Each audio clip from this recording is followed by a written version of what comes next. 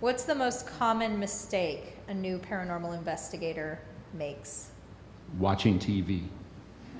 Okay, how so? All the paranormal shows on TV, um, there, there's one exception to this that I've seen, but all of them are complete crap. They all use confirmation bias all the way through. What's the exception? The exception is National Geographic's Is It Real? And if you've got Netflix, go back and watch it. I, I think quite Got often. Seven people on that one. I think quite often they don't realize what they don't know.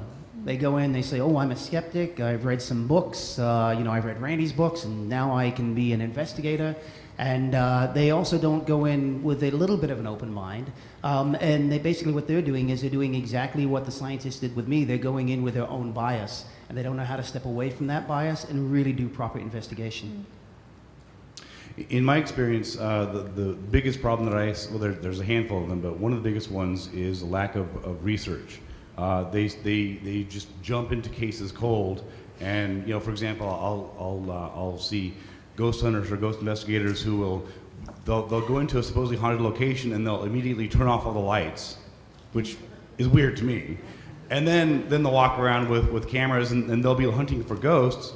And I'll try to explain, well, what is the claim? You have to establish the claim. What, what, is, what, is, what is supposed to be happening here? And they'll, they'll completely forget that. They'll be like, oh, there's a claim? It's like, yeah, that's what you're supposed to be doing instead of wandering around the place in the dark. And so they, they, they, they, they don't do the research, they don't do the background uh, work on it, and so then they just sort of you know, end up with this sort of weird non-investigation investigation. Well, now, Ben has just made very uh, evident uh, the thing that I so admire about his approach that is, prepare yourself.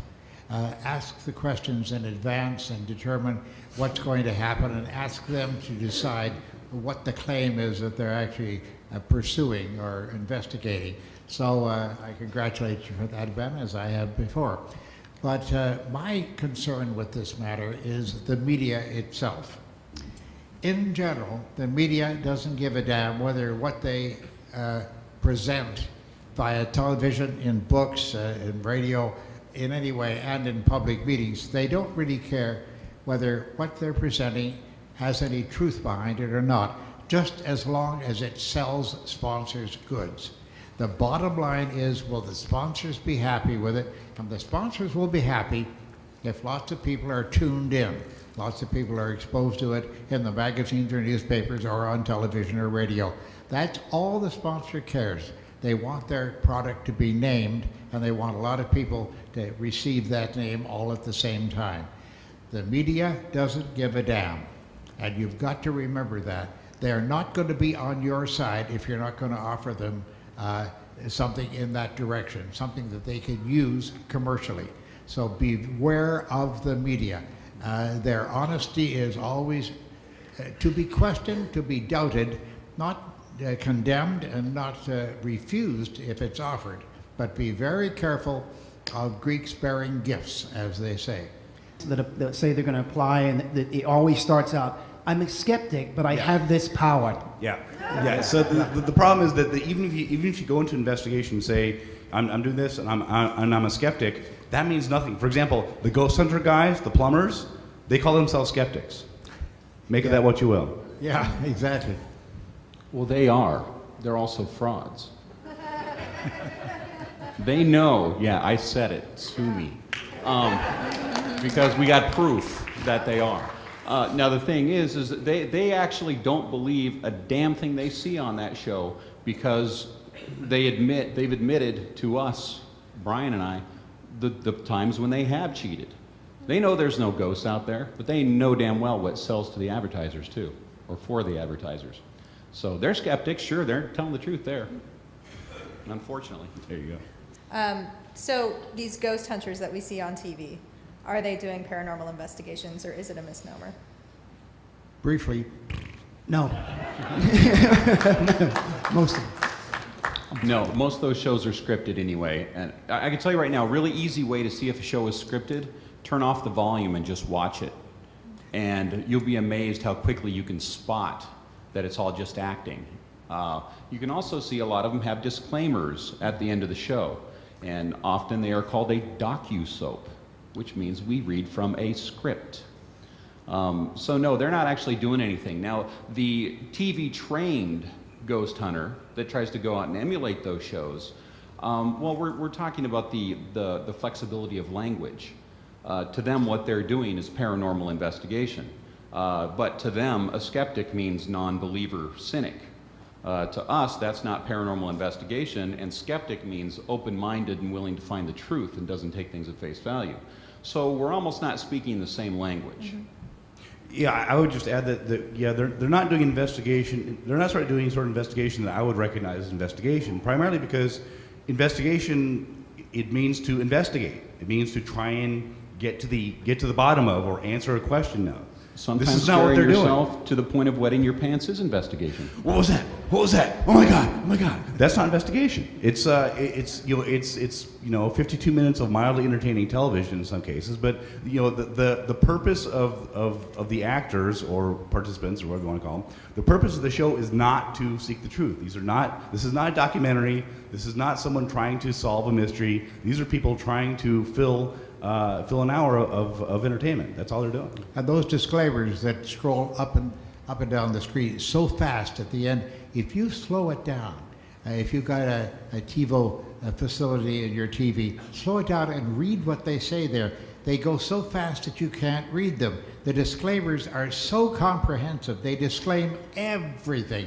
They take no responsibility for anything whatsoever. Uh, they end up pretty well saying uh, none of this should be construed as being true. And that, that's what it sums up to when you come right down to it. For entertainment purposes only. Yes, exactly. I think it proves the point. You've got to be very careful uh, in accepting and or rejecting something from, particularly from young folks, who often uh, uh, are making mistakes. They don't understand quite how their own minds work and how their evidence gathering uh, ability might be a little immature. I'm going to give you an example of a member of my family, frankly, the only member of my family that I really, really got along with was my paternal grandfather, George. Oh, wonderful gentleman who had been born in Austria. His family moved to uh, Copenhagen, Denmark, and became Danish citizens. Now, many years ago, I had the opportunity of visiting, uh, well, I visited Copenhagen and I've worked in Copenhagen many times over the years, but I had a chance to visit there with some skeptics who facilitated some things for me, and I found out a great deal about old George. Now, George had, was very, very fond of telling a story about the fact that as a youth, living in Copenhagen, he was an only child, and he lived uh, on a street which was quite adjacent to the Royal Palace. The Royal Palace is quite easily available. Uh, that is, the grounds outside the palace are quite easily available to pedestrians, and they can walk through them. And uh, so it's a, it's a very good democracy in that respect. And uh, little George, uh, he had the job of delivering his lunch to his father. Now, his father, my great grandfather, obviously, uh, he worked in the shipyards, which were on the other side of the royal palace, down on, uh, on the shore, of course. And uh, he didn't, he left at very, very early hour of the morning, like 5.30 in the morning or so to get to work. And uh, he didn't have time for his wife to get up and make the lunch for him, and so it would be put in a, in a, in a paper wrapping, and it would be left for little George. When he left for school, he had the job of delivering this to the shipyards and putting it in the hands of his father. Then he would proceed on to school. Now, I had the opportunity of walking along the path that little George used to take many years ago. That's quite an experience, believe me. And um, little George developed a, a, a phantom companion, a, a mysterious character that she, he said that he knew. Uh, you know how children invent these things, the, the phantom, the ghost, of, ghost companion, the phantom friend. And uh, so he developed this story, and he would delight in telling his uh, family, his, his parents, when he got home, uh, what Mr. Christian had told him. And uh, Mr. Christian, it, it turned out, uh, was a man who rode a great big black horse, a monstrous black horse, and he had uh, people all around him with sabers and such. Oh, how exciting! And uh, dogs that were bigger than he himself, little George, was. And uh, this was a great fantasy story, a fantasy companion. And the, the parents would sort of listen and say, Yes, George, okay, George. Great, George. I'm glad to hear that. Thank you, George. Eat your dinner. Uh, that kind of thing. They didn't pay much attention to it, but they thought it was an innocent aberration of a child. And uh, so the father sat George down one day. And I'm, by the way, I should add that, that Mr. Christian actually passed messages on to the family. Such things as uh, he knew, Mr. Christian apparently knew that George's father lived in the shipyards, and at one point he gave him some advice saying that uh, the shipyards are going to be moved and that his father should uh, think carefully about whether he wanted to keep his position there.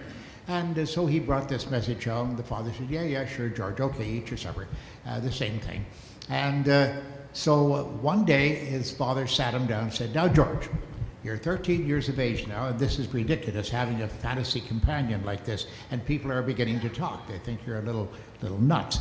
And he said, Oh, but it's real, Daddy. You know, it is real. No, no, no, no, George. I don't want to listen to, we don't want to hear the name of Mr. Christian again, please. I don't want to hear a word about it, okay? Your mother and I are sick and tired of this now. You've got to grow up and you've got to drop this fantasy companion. And little George glumly agreed that that was the father's command.